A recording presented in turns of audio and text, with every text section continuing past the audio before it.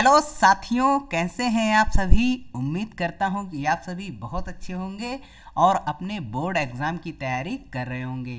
साथियों, आज हम कक्षा 10 के विज्ञान विषय के एक महत्वपूर्ण अध्याय, रासायनिक अभिक्रियाएँ एवं समीकरण, इस पर कुछ महत्वपूर्ण प्रश्नों को लेके आए हैं, जो आपके बोर्ड एग्ज़ाम 2022 में पूछे जा सकते हैं। तो साथियों, वीडियो को पूरा एंड तक देखिएगा, जिससे कि आपको उन सभी महत्वपूर्ण प्रश्नों और उनके सलूशंस के बारे में पता लग सके।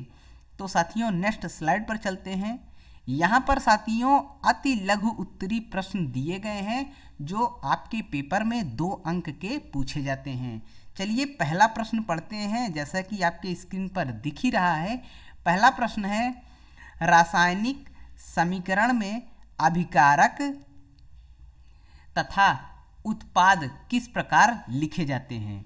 तो साथियों, सबसे पहले हम ये जानते हैं कि रासायनिक समीकरण, यहाँ पे जो रासायनिक समीकरण दिया गया है, ये क्या होता है? पहले हमको इसके बारे में जानना पड़ेगा।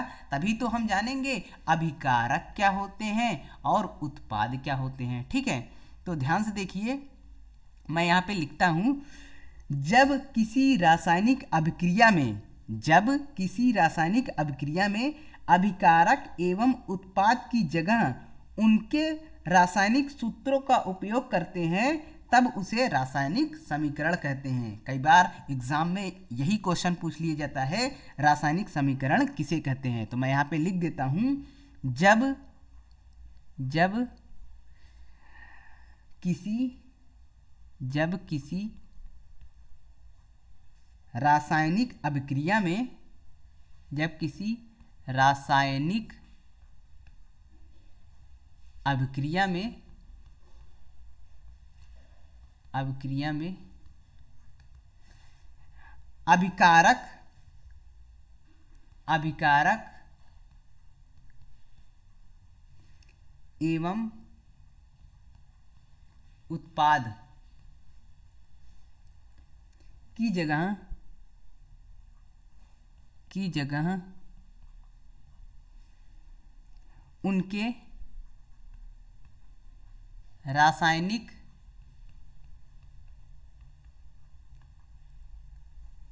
रासायनिक सूत्रों का सूत्रों का उपयोग करते हैं तब उसे रासायनिक समीकरण कहते हैं। उसे रासायनिक समीकरण कहते हैं। तो आपको ये परिभाषा समझ में आ गया होगा। जब किसी रासायनिक अभिक्रिया में अभिकारक एवं उत्पाद की जगह उनके रासायनिक अभि सूत्रों का उपयोग करते हैं, तब उसे रासायनिक समीकरण कहते हैं। जैसे यहाँ पर एग्ज़ाम्पल के तौर पर हम यहाँ पे देखें मैग्नीशियम मैग्नीशियम की क्रिया जब किससे कराते हैं? ऑक्सीजन मैग्नीशियम की क्रिया किससे कराते हैं? ऑक्सीजन से कराते हैं। मैग्नीशियम क्रिया जब किससे कराते हैं? ऑक्सीजन से कराते हैं। तो क्या बनता है? हमारा बनता है मैग्नीशियम ऑक्साइड। क्या बनता है? मैग्नीशियम मैग्नीशियम ऑक्साइड बनता है। है ना? क्या ये रासायनिक समीकरण है? ये रासायनिक समीकरण नहीं है, क्योंकि यहाँ पे मैग्नीशियम ऑक्सीजन ऐसे लिखा है। अब हम इसको सूत्र लिख देते हैं, रासायनिक सूत्र लिख देते हैं। तो मैग्नीशियम का प्रतीक क्या होता है? एम होता है। और ऑक्सीजन का प्रतीक क्या होता है? ओ होता है। और मैग्नीशियम ऑक्साइड का रासायनिक सूत्र क्या होता है? एम होता है। तो ये क्या हो गया हमारा? ये हो गया रासायनिक रासायनिक समीकरण। ये क्या हो गया? रासायनिक समीकरण, है ना? अब ध्यान से देखिए साथियों, इधर तरफ़ जो लिखा जाता है, ये क्या है? ये है अभिकारक। ये क्या है? अभिकारक। ये भी क्या है? ये भी है अभिकारक। ये भी क्या है? अभिकारक। और ये क्या है? ये है हमारा उत्पाद। ये क्या है? उत्पाद। जो हमारा अभिकारक होता है, वो इधर लिखा जाता है। जो अभिकारक होता है, ये, वो किधर लिखा जाता है? इधर लिखा जाता है। और जो उत्पाद होता है, वो इस तरफ़ लिखा जाता है। और ये जो तीर है, ये जो तीर दिख रहा है, ये क्या दिखा रहा है? ये बता रहा है कि अभिक्रिया की दिशा, ये किसको बताता है? अभिक्रिया अभिक्रिया की दिशा। ये अभिक्रिया की दिशा को बताता है। और जो अभिकारक हैं, अगर एक से ज़्यादा अभिकारक हैं तो उनको लिखने से पहले प्लस का चिन्ह लगाते हैं। देखिए, मैग्नीशियम भी अभिकारक है, ऑक्सीजन भी अभिकारक है। एक से ज़्यादा अभिकारक हैं तो क्या लिखे हैं? यहाँ पर प्लस चिन्ह लगाकर लिखे हैं। अगर मान लीजिए उत्पाद भी एक से ज़्यादा होता तो मैग्नीशियम ऑक्साइड के अलावा यहाँ पर प्लस लगाते और कुछ लिखते हैं। लेकिन उत्पाद यही है तो यहाँ पर प्लस चिन्ह नहीं लगाएँगे। ओके? आपको ये समझ में आ गया होगा। तो इसका आंसर देखिए साथियों, क्या लिखा है? रासायनिक समीकरण में अभिकारक बाई ओर लिखे जाते हैं। यहाँ पर जो अभिकारक है, ये किधर लिखे जाते हैं? ये अभिकारक बाई ओर लिखे जाते हैं। और जो उत्पाद है, वो किस तरफ़ लिखा जाता है? उत्पाद दाई ओर लिखा जाता है। ठीक है? तो यहाँ पर ध्यान से पढ़िए। रासायनिक समीकरण में अभिकारक बाई ओर लिखे जाते हैं। एक से अधिक अभिकारक होने पर उनके मध्य प्लस का चिन्ह लगाया जाता है। मैंने आपको बताया मैग्नीशियम और ऑक्सीजन। ये दो अभिकारक हैं और एक से अधिक हैं, इसलिए इनके बीच कौन सा चिन्ह लग रहा है? प्लस का चिन्ह लग रहा है। उत्पादों को समीकरण के दाई ओर लिखा जाता है। जो उत्पाद है, ये समीकरण के किस ओर लिखा गया है? दाई ओर। और जो अभिकारक है, ये किस ओर लिखा गया है? बाई ओर। ठीक है? तथा इनके मध्य भी प्लस का चिन्ह लगा दिया जाता है। अगर एक से अधिक उत्पाद हैं तो उनको लिखने के बाद प्लस का चिन्ह लगाते हैं। अभिकारकों तथा उत्पादों के मध्य एक तीर लगाया जाता है। ये देखिए, ये एक तीर है। ये क्या दर्शाता है? जिसकी दिशा, यहाँ पे दशा लिखा है, जिसकी दिशा उत्पादों की ओर होती है, यह तीर अभिक्रिया की दिशा का बोध कराती है। तो आपको समझ में आ गया होगा कि अभिकारक क्या होते हैं, जो अभिक्रिया की बाई ओर लिखे जाते हैं, और उत्पाद क्या होते हैं, जो अभिक्रिया के दाई ओर लिखे जाते हैं। एक से अधिक अभिकारक होने पर उनके बीच में प्लस का चिन्ह लगाते हैं, और एक से अधिक उत्पाद होने पर उनके बीच में प्लस का चिन्ह लगाते हैं, और जो तीर होता है वो अभिक्रिया की दिशा का बोध कराता है। नेक्स्ट क्वेश्चन की तरफ़ चलते हैं साथियों। नेक्स्ट क्वेश्चन है संतुलित रासायनिक समीकरण किसे कहते हैं? तो यहाँ पर उत्तर लिखा है, किसी रासायनिक अभिक्रिया में, किसी रासायनिक अभिक्रिया में भाग लेने वाले अभिकारक तथा प्राप्त उत्पादों में उपस्थित विभिन्न तत्वों के परमाणुओं की संख्या समान होने पर समीकरण संतुलित समीकरण कहलाता है। संतुलित रासायनिक समीकरण कहलाता है। तो ध्यान से देखिए, जब मैग्नीशियम की अभिक्रिया किससे कराते हैं? ऑक्सीजन से। तो क्या बनता है? मैग्नीशियम ऑक्साइड बनता है। क्या ये संतुलित समीकरण है? ये संतुलित समीकरण नहीं है। ये कैसा है? असंतुलित। कैसा है? असंतुलित समीकरण है। तो इसको संतुलित कैसे करेंगे? संतुलित करने के लिए क्या करेंगे? यहाँ पर देखेंगे कि मैग्नीशियम के कितने परमाणु हैं? यहाँ पर मैग्नीशियम के एक परमाणु हैं और यहाँ पर भी मैग्नीशियम के एक परमाणु हैं। अभिकारक में मैग्नीशियम के एक परमाणु हैं और उत्पाद में भी मैग्नीशियम के एक परमाणु हैं। अब ऑक्सीजन देखिए, ऑक्सीजन के कितने परमाणु हैं? दो हैं। O2 है ना? O2 O2 मतलब दो ओ है। O2 मतलब दो ओ है। तो ठीक है, ऑक्सीजन के दो परमाणु हैं, लेकिन यहाँ पर तो ऑक्सीजन के एक ही परमाणु हैं। तो ये समीकरण असंतुलित हो गया। अब हमको इसको संतुलित करना है। तो यहाँ पे लिखिए मैग्नीशियम और यहाँ पे लिखिए ऑक्सीजन O2 और इधर तीर लगाइए MgO लिखिए। अगर हम यहाँ पर दो का गुणा कर दें, किसका गुणा कर दें? दो का गुणा कर दें। तो ध्यान से देखिए, मैग्नीशियम के यहाँ पर परमाणु कितने हो जाएँगे? दो हो जाएँगे और ऑक्सीजन के भी कितने हो जाएँगे? दो हो जाएँगे। अब अभिकारक में देखिए, ऑक्सीजन के दो परमाणु तो पहले से ही हैं, लेकिन मैग्नीशियम के एक ही हैं। अगर हम दो से गुणा कर देंगे तो देखिए, मैग्नीशियम के भी दो परमाणु हो गए, ऑक्सीजन के भी दो परमाणु हो गए। ये कहाँ पर है? अभिकारक में। ये कहाँ पर है? अभिकारक में। अभिकारक में मैग्नीशियम भी दो है और ऑक्सीजन भी दो है। मतलब इसके दो ही परमाणु हैं। और उत्पाद में भी मैग्नीशियम के दो परमाणु हो गए और ऑक्सीजन के भी दो परमाणु हो गए। ठीक है? तो ये कैसा समीकरण बन गया? ये हमारा संतुलित समीकरण बन गया। ये जो हमारा समीकरण बना है, ये कैसा समीकरण है? ये हमारा संतुलित संतुलित समीकरण बन गया, है ना? तो आप समझ गए होंगे कि संतुलित समीकरण क्या होता है? किसी रासायनिक अभिक्रिया में भाग लेने वाले अभिकारक तथा प्राप्त उत्पादों में उपस्थित विभिन्न तत्वों के परमाणु की संख्या समान होने पर समीकरण रास, संतुलित रासायनिक समीकरण कहलाता है। ओके? नेक्स्ट क्वेश्चन की तरफ़ चलते हैं देखिए साथियों। नेक्स्ट क्वेश्चन है उपचयन तथा अपचयन क्या है? तो साथियों वह अभिक्रिया जिसमें एक रासायनिक स्पीसीज जिसमें एक रासायनिक स्पीसीज इलेक्ट्रॉनों का हास्य करती है। उपचयन कहलाती है। वह रासायनिक अभिक्रिया जिसमें एक रासायनिक स्पीसीज इलेक्ट्रॉनों का हास्य करती है, उपचयन कहलाती है। मतलब मैं यहाँ पे लिखूँ मान लीजिए एक रासायनिक अभिक्रिया हुई और ये है एक रासायनिक स्पीसीज एक रासायनिक स्पीसीज है, ये क्या कर रही है? इलेक्ट्रॉन का हास्य कर रही है। देखिए, मैं इलेक्ट्रॉन निकाल दिया, यानी इलेक्ट्रॉन का हास्य कर रही है। तो इसको क्या बोलेंगे? इसको बोलेंगे उपचयन। इसको क्या बोलेंगे? उपचयन। और मान लीजिए, यही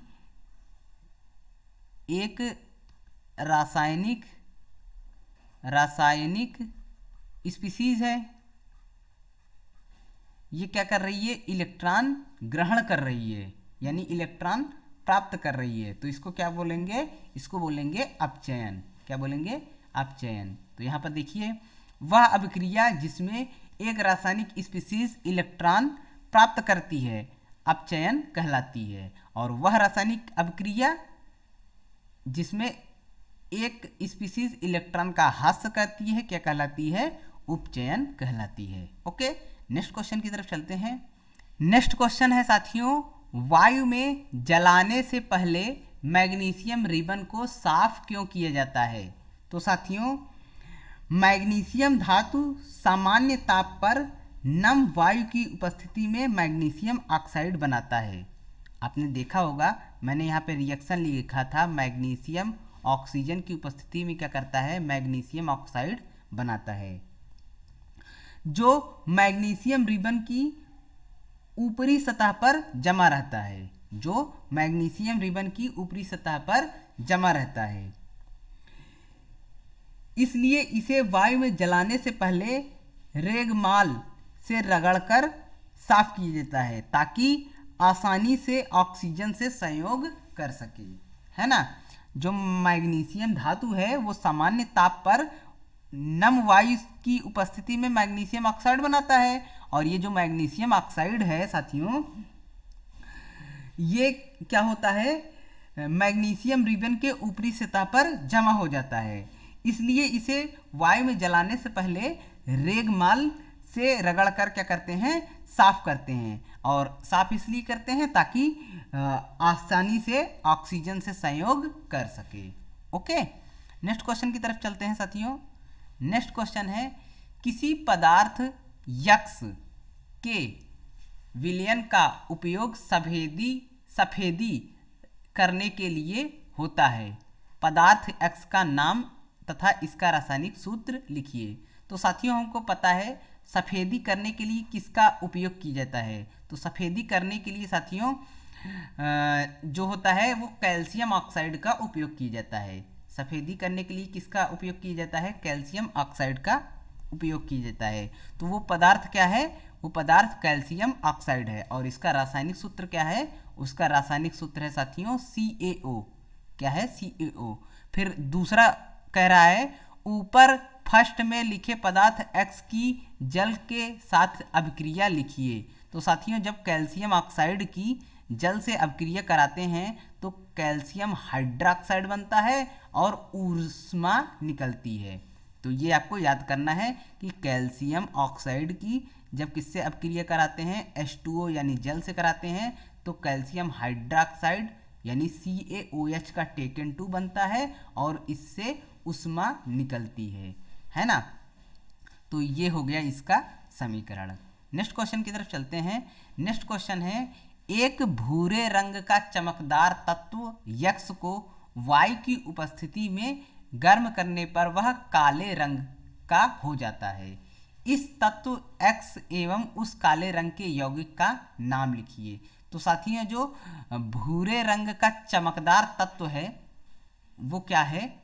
भूरे रंग का चमकदार चमकदार तत्व जो है, वो क्या है साथियों?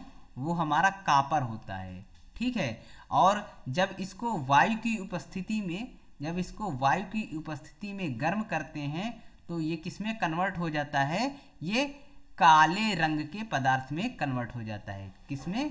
काले रंग के पदार्थ में कन्वर्ट हो जाता है। और ये काले रंग का पदार्थ क्या होता है साथियों? ये होता है कापर ऑक्साइड यानी सी काले रंग का पदार्थ क्या होता है? कापर ऑक्साइड और इसका रासायनिक सूत्र क्या है? सी यू ओ है। ओके नेक्स्ट क्वेश्चन की तरफ़ चलते हैं। नेक्स्ट क्वेश्चन है लोहे की वस्तुओं को हम पेंट क्यों करते हैं? तो साथियों, ये तो बहुत ही आसान क्वेश्चन है और एन e में दिया गया है।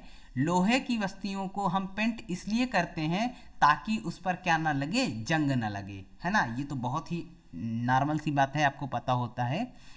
लोहे की, यहाँ पर देख लेते हैं क्या लिखा है। लोहे की वस्तुओं पर पेंट करने से उसकी अभिक्रिया वायु में उपस्थित नमी व ऑक्सीजन से नहीं हो पाती है, तथा वह जंग लगने से बच जाती है। क्या कह रहा है? लोहे की वस्तुओं पर जब हम, जैसे मान लीजिए लोहे की वस्तु है, और इस पर हम क्या कर देते हैं? पेंट लगा देते हैं। इस पर क्या लगा देते हैं? पेंट लगा देते हैं।